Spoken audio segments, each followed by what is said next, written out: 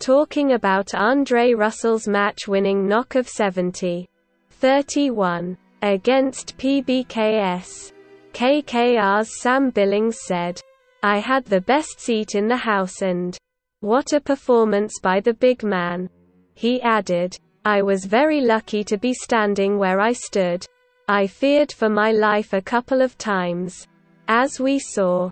But special, special knock for him. Subscribe to the channel for more news.